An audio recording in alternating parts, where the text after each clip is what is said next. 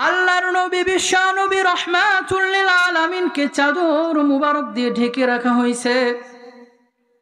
আল্লাহর নবী, বিশ্ব নবী রহমাতুল্লিল আলামিন। চাদরের ভিতরে হাতটা একবার এইভাবে সোজা করে, একবার বেঁকা করে, পাটা একবার সোজা করে, একবার বেঁকা করতেছে। হজরত আইসা আয়সা সিদ্দিকা রদি আল্লাহ আনহা নজর করে খেয়াল করিয়া দেখলেন, আল্লাহর নবী, বিশ্ব নবী রহমাতুল্লিল আলমিন কেন মন করতেছে? হজরতে আয়সা সিদ্দিকা রদি আল্লাহ আনহা নজর করিয়া দেখলেন, বারবার আল্লাহর নবী, বিশ্ব নবী রহমাতুল্লিল আলমিন চাদরের ভিতর হাতটা সোজা করে একবার বেকা করে আরেকবার পাটা সোজা করে, একবার বেকা করে। হজরতে আয়সা সিদ্দিকা রদিয়াল্লাহু তাআলা আনহা চাদর মুবারকটা একটু উঠায় দেখলেন। আল্লাহর নবী বিশ্ব নবী রহমাতুল্লিল আলমিনের গায়ের একটা পশম নাই রে, একটা পশম নাই রে, এমন কোন পশম নাই। আল্লাহর নবী বিশ্ব, নবী রহমাতুল্লিল আলমিনের গায়ের এমন একটা পশম বাকি নাই, যেই পশমটা ঘাম ঝরে নাই। আল্লাহর নবী বিশ্ব, নবী রহমাতুল্লিল আলমিন যখন পৃথিবীর জমিন থেকে বিদায় হয়ে যাবে, তখন তার ভিতরে টেনশন শুরু হয়ে গেল। তার ভিতরে টেনশনে তার গায়ের প্রত্যেকটা লোম থেকে ঘাম ঝরা শুরু হয়ে গেল। কিছুক্ষণ পরে আল্লাহর নবী বিশ্ব নবী রহমাতুল্লিল আলামিন ফাতেমাকে ডাক দিয়ে বলে, ওরে ফাতেমা, এরে ফাতেমা মা,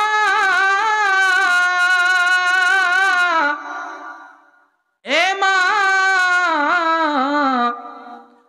দেখ না দেখ না দরজাটাকে যেন খুলতে বলে। কে যেন দরজাটা টপকায় ভিতরে ঢুকতে চাই রে ফাতেমা মা?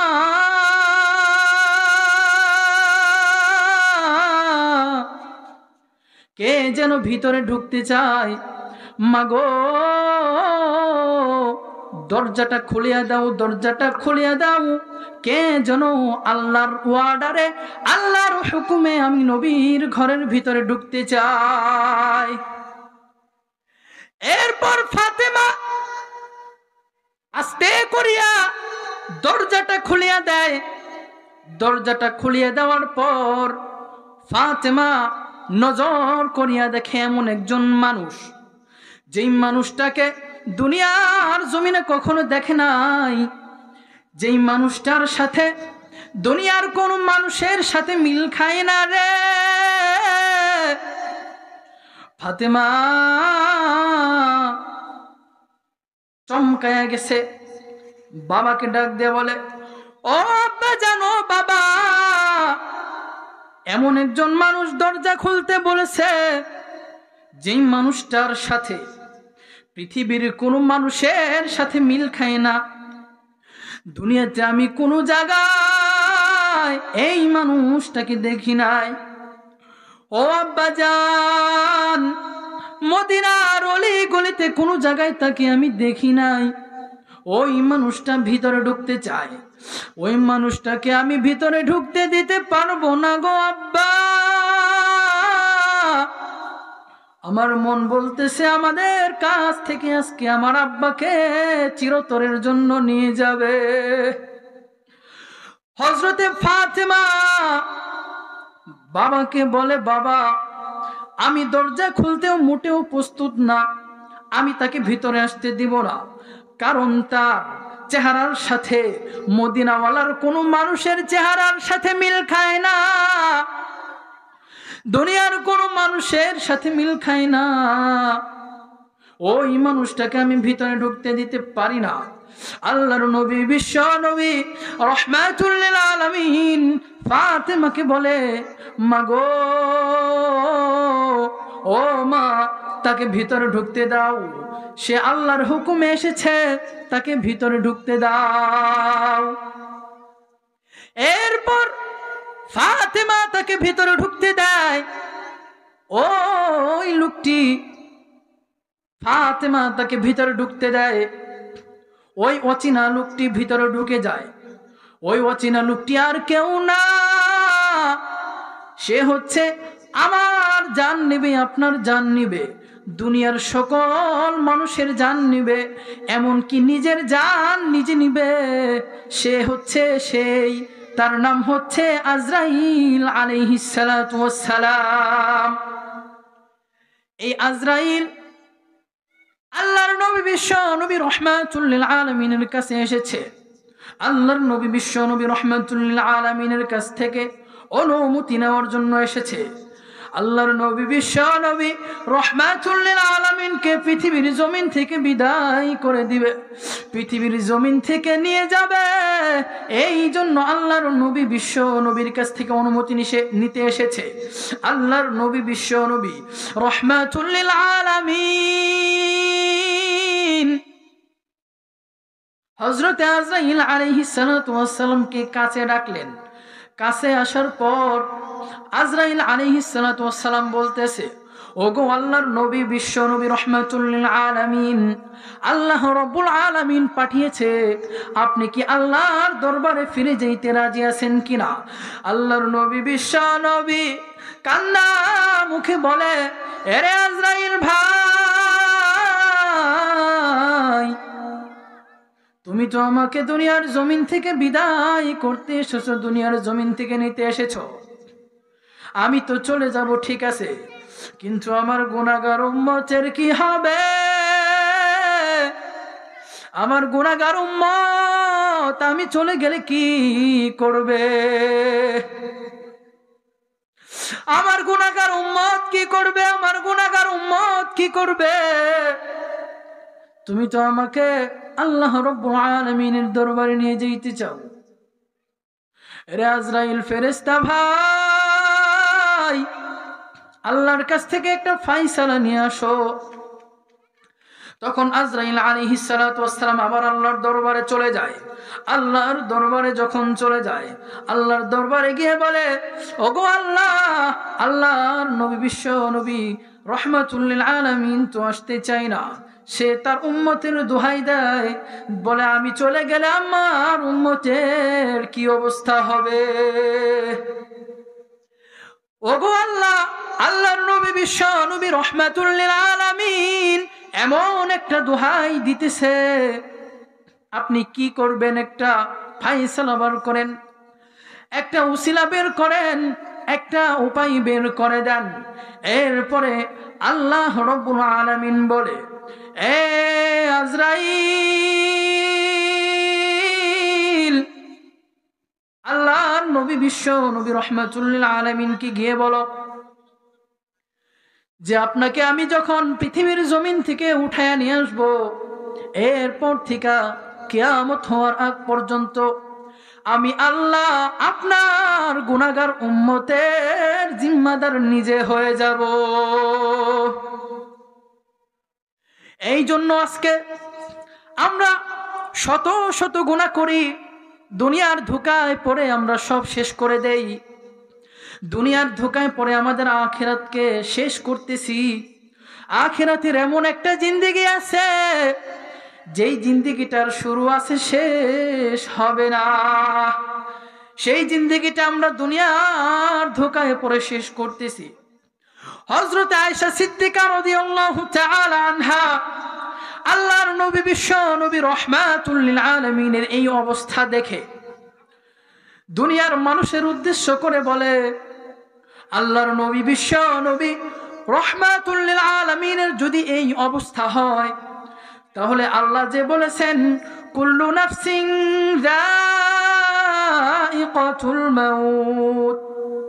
প্রত্যেকটা প্রাণীরই যে মৃত্যুবরণ করতে হবে এই কথা যে আল্লাহ রব্বুল আলমিন কোরআনুল করিমের মধ্যে ঘোষণা দিয়েছেন। আল্লাহর নবী বিশ্ব নবী রহমাতুল্লিল আলমিনের যদি মৃত্যুর টেনশনে শরীর গাম বের হয়, তাহলে দুনিয়ার সাধারণ উন্মতের সাধারণ মানুষের কি অবস্থা হবে?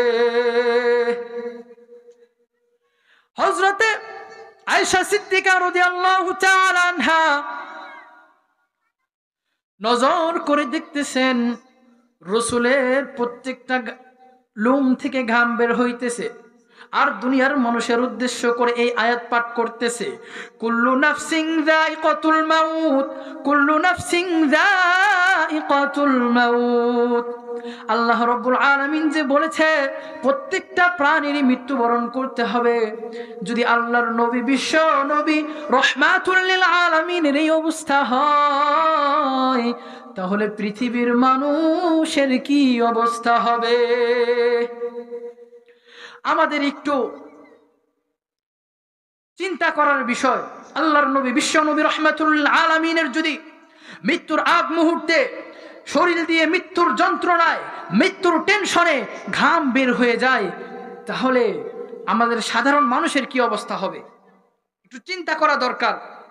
আমাদের সাধারণ মানুষের ভিতরে আজকে মৃত্যুর ভয় নেই, আজকে মরণের ভয় নেই, কবরের ভয় নেই, আল্লাহর কেয়ামতের ময়দানে কি অবস্থা হবে সেই ভয় নেই, আল্লাহর শাস্তির ভয় নেই। অথচ আমরা দুনিয়ার পিছনে ছুটতেছি, দুনিয়ার ধোকায় আমরা মশগুল হয়ে গেছি। দুনিয়ার ধোকাটা কেমন?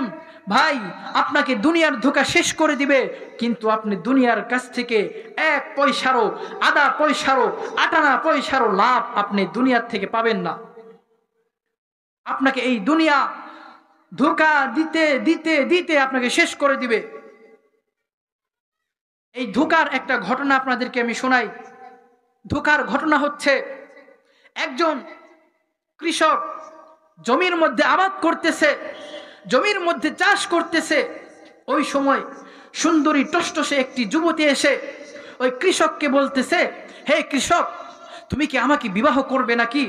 তখন ওই কৃষক সুন্দরী টষ্টসে যুবতীকে দেখে বলে, আমার মতো একটা কৃষককে একটা সুন্দরী যুবতী টষ্টসে মেয়ে এসে বলে বিবাহ করার জন্য আমি কেন রাজি হব না? আমি তো অবশ্যই রাজি হব। তখন ওই কৃষকের কথায়, ওই যুবতীর কথায় কৃষক রাজি হয়ে যায়। ওই কৃষক রাজি হয়ে যাওয়ার পর, ওই কৃষক, ওই সুন্দরী টষ্টসে যুবতী মেয়েকে কাজী সাহেবের দরবারে নিয়ে যায়। এরপর কাজী সাহেবের দরবারে যখন নিয়ে যাওয়া হয়, কাজী সাহেব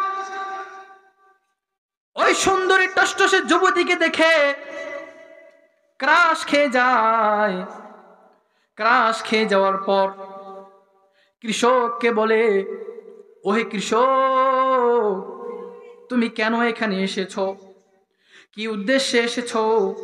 তোমার কি প্রয়োজন? কৃষক নজর করে কাজী সাহকে ডাক দিয়ে বলে, ওহে কাজী সাহ আমি জমির মধ্যে আবাদ করতেছিলাম। হঠাৎ করে এই সুন্দরী টষ্টসের যুবতী এসে আমাকে বলে, বিবাহ করবেন নাকি? আমি বিবাহে রাজি হয়ে গেলাম। এখন আপনি বিবাহটা পড়ায়া দেন। আমাদের বিবাহটা পড়ায়া দেন, বিবাহর কাজটা শেষ করে দেন। এরপর কাজী সাহ ওই যুবকের কথা শুনে ওই কৃষক যুবককে বলতেছে হে কৃষক যুবক, তোমার তো কোনো যোগ্যতা আমি দেখতেছি না। তোমার তো কোনো যোগ্যতা আমি দেখতেছি না। তুমি কি যোগ্যতায় এই কাজ এই টসটসে সুন্দরী যুবতীকে বিয়ে করবে? অতএব তুমি জমির কাজে লিপ্ত থাকো, কাদা মাটিতে কাজ করো। তুমি ওই কাদা মাটিতে কাজ করবা, তোমার এই সুন্দরী টষ্টসে যুবতীকে বিয়ে করার কোনো প্রয়োজন নাই, আর কোনো যোগ্যতাও তোমার নাই। এরপর কৃষকের সাথে আর কাজী সাহেবের সাথে ঝগড়া হয়ে যায়। ঝগড়া যখন শুরু হয়ে যায় কাজী সাহেব আর কৃষক এক পর্যায়ে মারামারি শুরু করে দিতে চায়। মারামারি যখন শুরু হয়ে যাবে, তখন একজন আরেকজনকে বলে, ভাই, আমাদের মারামারির কোনো প্রয়োজন নাই। আমরা চলো রাজার দরবারে চলে যাই। রাজার দরবারে গিয়ে আমরা একটা উসিলা, ফাইসালা বের করি। এরপর কাজী সাহেব আর কৃষক মিলে রাজার কাছে চলে যায়। রাজার কাছে চলে যাওয়ার পর রাজা কৃষকের দিকেও তাকাই না। কাজী সাহেবের দিকেও তাকাই না। কাজী সাহেব আর কৃষক যে সুন্দরী টসটসের যুবতীকে নিয়ে ঝগড়া করতেছিল, ওই সুন্দরী টসটসে যুবতীর দিকে তাকায় আছে। কৃষক কাজী সাহেব রাজাকে ডাকে উত্তর দেয় না। কারণ কাজী সাহেব, আর রাজাকে তার প্রয়োজন না। তারা হলো পুরুষ মানুষ, তাদের কোনো প্রয়োজন কাজী সাহেব, রাজার নাই। রাজা তো ওই সুন্দরী টষ্টসের যুবতীকে দেখে ক্রাশ খেয়ে গেছে, তার দিকে তাকায় আছে। সে আর এই দুনিয়ায় নাই, অন্য দুনিয়ার মধ্যে চলে গেছে। এরপর নজর করে কাজী সাহেব রাজাকে ডাক দিয়ে বলতেছে, ওহে রাজা, আপনি কি ওদিকেই তাকায় থাকবেন নাকি আমাদের আর্য শুনবেন? এরপর আর্য শোনার পর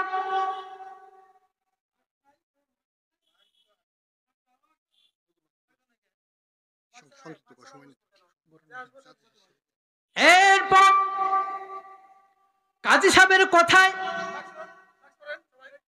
কাজী সাহেবের কথায় ডাক্তার সাহেব আপনি পরে রাজা বলতেছে তোমাদের কি হয়েছে? বলে ও রাজা এই যে কৃষক দেখতেছেন যেই কৃষক জমির মধ্যে আবাদ করে চাষ করে যেই কৃষক জমির মধ্যে আবাদ করে চাষ করে, কাদা মাটির মধ্যে পড়ে থাকে। সেই কৃষক এই সুন্দরী টষ্ট টস যুবতীকে বিয়ে করতে চায়। অতএব এই কৃষক এই সুন্দরী টসটসের যুবতীকে বিয়ে করতে পারবে না। আমি তাকে বিয়ে করব। আপনি এই ফাইসালা করে দেন। তখন রাজা কাজী সাহেবকে বলতেছে? এ কাজী সাহেব, তুমি কি বলতেছ? তুমি কি বলতেছ? তুমি কি এই নারীকে বিয়ে করতে চাও? বলে হ্যাঁ। আরে কাজী সাহেব, যদি আমার হাত থেকে রেহাই পেতে চাও, বাঁচতে চাও, তাহলে তুমি এখান থেকে পালায় যাও। আরে কাজী সাহেব, আমি এই যুবতীকে বিয়ে করতে চাই। এরপর তিনজনের মধ্যে ঝগড়া শুরু হয়ে যায়। কাজী সাহেব, রাজা আর কৃষকের মধ্যে ঝগড়া শুরু হয়ে যায়। কাজী সাহেব, কৃষক আর রাজা যখন ঝগড়া করে, সুন্দরী টষ্টসের যুবতীটা তখন তাদের তিনজনের উদ্দেশ্যে একটা কথা ছাড়ে। তাদের তিনজনের উদ্দেশ্যে একটা কথা বলে। কথাটা হচ্ছে, বলতেছে, ও কাজী সাহেব, কৃষক, ও রাজা। একটা প্রস্তাব দেব ছোট্টখাটো একটা প্রস্তাব দেব। প্রস্তাবটা হচ্ছে আপনারা তিনজন যদি আমাকে ধৌড়ায় ধরতে পারেন তাহলে যে আগে ধরতে পারবে আমি তাকেই বিবাহ করব। ওই যুবতীটি দৌড় শুরু করে দিল কাজী সাবুয়ের পেছনে দৌড়ায়। রাজাও দৌড়ায় কৃষকও দৌড়ায়। এক পর্যায়ে দৌড়াইতে দৌড়াইতে এক পর্যায়ে দৌড়াইতে দৌড়াইতে কৃষক দুনিয়ার জমিন থেকে বিদায়ী হয়ে গেছে। এরপর কিছুক্ষণ পরে, রাজাও কিছুক্ষণ পরে কাজী সাবু দুনিয়ার জমিন থেকে বিদায় হয়ে গেছে। এরপর শুধু একলা রাজা দৌড়াইতেছে। রাজা সুন্দরী যুবতী টষ্টসে মেয়েকে ডাক দিয়ে বলতেছে, এরে যুবতী তুমি কি চাও? তুমি তো দুইজনকে দুনিয়ার জমিন থেকে বিদায় করে দিছো। এখন তুমি কি চাও? একটু দাঁড়াও দাঁড়াও দাঁড়াও, আমার কথাটা শুনে যাও। এরপর এই সুন্দরী টষ্টসের নারী যুবতী কাজী সাহেবকে ডেকে বলতেছে, রাজাকে ডেকে বলতেছে, এ রাজা আমার পিছনে এমন করে যে দৌড়ায়, আমি তাকে শেষ করে দেই, আমি আর কেউ না, আমি হচ্ছে দুনিয়া। তার মানে এই ঘটনার থেকে বোঝা গেল যে যদি কেউ দুনিয়ার পিছনে দৌড়ায়, তার জীবন চলে যাবে, কিন্তু দুনিয়ার দুনিয়ার কাছ থেকে এক পয়সার মূল্যও পাবে না। ঠিক কিনা? অতএব আমাদের কি করতে হবে? দুনিয়ার লোভ লালসা, দুনিয়ার চিন্তায় আমাদেরকে বিভোর হওয়া যাবে না। আমাদেরকে আখিরাতি চিন্তা করতে হবে, চেতনা করতে হবে। আল্লাহ রব্বুল আলামিন আমাদের সকলকে তৌফিক দান করুক। সকলে বলুন, আমিন।